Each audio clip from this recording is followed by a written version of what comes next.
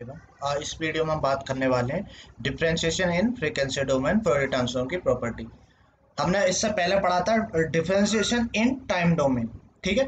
ध्यान से देखो दोनों एक जैसे वहाँ पर डिफरेंशिएशन इन टाइम डोमेन था, यहाँ पर डिफरेंशिएशन इन फ्रीक्वेंसी डोमेन है। तो ये प्रॉपर्टी क्या कहती है? उसको जानते हैं पहले। अगर एक्स टी का Fourier transform X of omega है ठीक है? देन अगर मैं टी से मल्टीप्लाई करता हूँ, किससे? टी से। देन क्या होता है?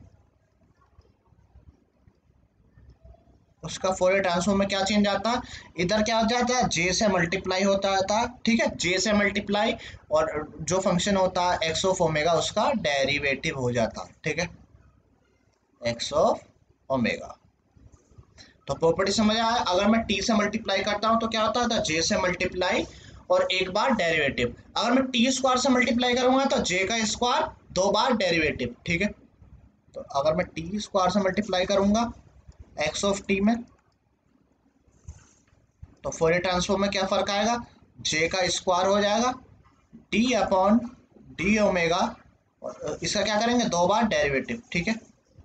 एक्स ऑफ़ ओमेगा ठीक है? अगर यही चीज़ एन टाइम्स पूछी हो, अगर एन टाइम्स से मल्टीप्लाई करो टी की पावर एन से मल्टीप्लाई करूँ, इसमें क्या हो जाएगा? फ़र्क आएगा। देन क्या हो जाएगा? एफ़ टी जे की पावर एन हो जाएगा, ठीक है? जे की पावर एन और डिफ्रेंशिएशन में कितने बार हो जाएगा? एन टाइम्स हो जाएगा। ओमेगा की power N X of omega ठीक है? तो इसी पे बेस देखते हैं एक क्वेश्चन तो हमें दे रखा इसका फोरियर ट्रांसफॉर्म निकालना, ठीक है? हमें निकालना किसका? टी ई की power minus A T U T का फोरियर ट्रांसफॉर्म तो हम यहाँ पे देखो टी से मल्टीप्लाई हो रही है किसमें? ई की power minus A T U T में, ठीक है? तो मैं पहले, अगर ई की power minus A T U T का फोरियर ट्रांसफॉर्म निकालने में रहा कामयाब रहा तो मैं टी से जब मल्टीप्लाई कर दूँगा तो इस फॉर्मूले के हिसाब से क्या कर दूँगा? जे से मल्टीप्लाई और उस फ़ंक्शन का डेरिवेटिव तो निकालते हैं।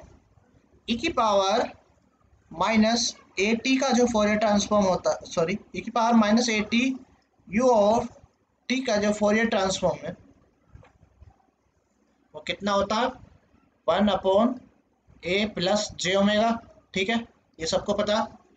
अगर मैं, मैंने कहा था, अगर टी से मल्टीप्लाई क्या करता हूँ तो क्या आता? है जे से मल्टीप्लाई और जो एक्स ऑफ़ ओमेगा उसका डिफ्रेंशिएशन अगर मैं टी का मल्टीप्लाई कर दूँगा, तब क्या आएगा?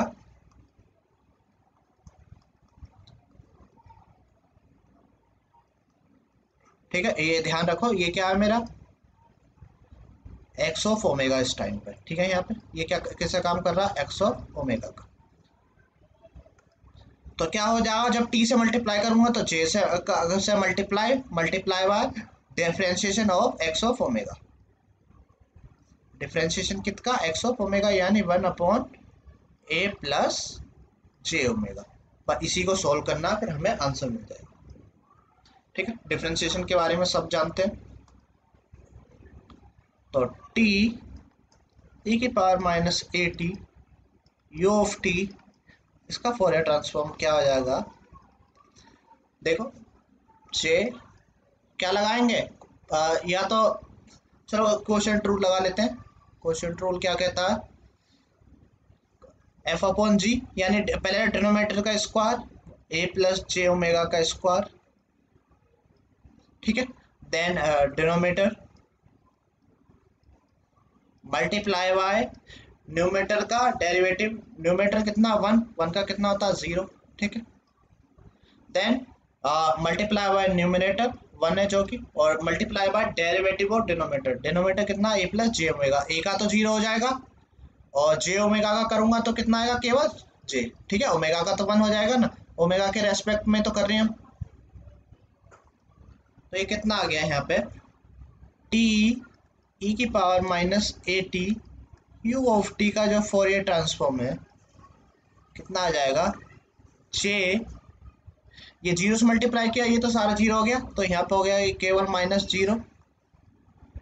A plus J omega का whole square then T E की power minus A T U of T का जो फोरियर ट्रांसफॉर्म है, कितना हो जाएगा वो? जे की जे में करेंगे तो माइनस जे स्क्वायर हो जाएगा ऊपर। ए प्लस जे ओमेगा का होल स्क्वायर ठीक है? और जे स्क्वायर की वैल्यू कितनी होती है? माइनस वन तो लगा दो यहाँ पे। टी ई की power minus A T U of T का जो फोरियर ट्रांसफॉर्म है, कितना हो जाएगा? Minus minus one J square की वैल्यू माइनस वन होती है। ए प्लस जे ओमेगा का होल स्क्वायर ठीक है? माइनस वन के ऊपर दो नहीं क्या हो जाएगा? प्लस हो जाएगा। तो टी ई की power minus A T U T इसका फोरियर ट्रांसफॉर्म कितना आ जाएगा? One upon A plus J omega का होल स्क्वायर ठीक है? तो ये T E power minus A T U T का फोरियर ट्रांसफॉर्म कितना आ गया? One upon A plus J omega का होल स्क्वायर बस इतना कुछ करना रहता है, ठीक है? डिफ्रेंशिएशन तो हम पढ़ते आ रहे हैं इलेवंथ क्लास से तो डिफ्रेंशिएशन मुझे लगता नहीं कोई दिक्कत आने वाली, ठीक है? आई होप आप लोगों को समझ आया होगा। फ़िलहाल इस वीडियो में इतना ही।